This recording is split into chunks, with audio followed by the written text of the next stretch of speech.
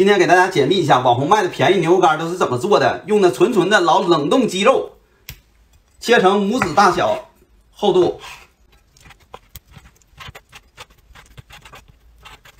开始调味，首先我们放食用盐，小肠粒味精。哎呀妈，这这行啊，这头发吃光光了。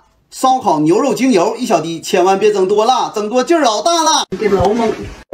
来上一小滴鸡肉变牛肉，哎呀妈，小味嘎就上来了。再来点纯纯的老焦糖色素啊，这就是鸡肉变成牛肉色的奥秘，哥们儿，来一小滴就行。哎呀妈呀，去老黑呀！少加一点水，给这些料化开。哎呀妈，这谁受得了啊，哥们儿？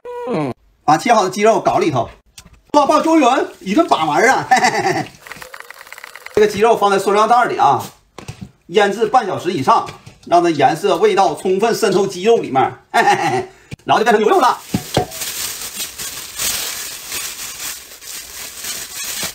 油炸脱水之前，我们在油里面先放葱姜。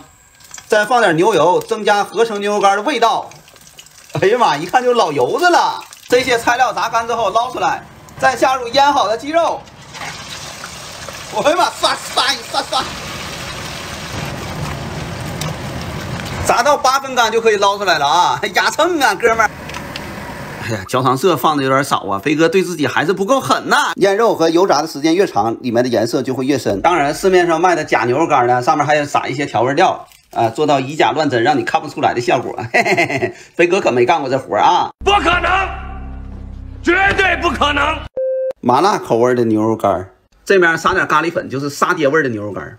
咖喱味沙爹牛肉干啊！你们这帮网红啊，上良心呐！来给大家掰一个啊，看看。哎呀妈，这老干头了啊！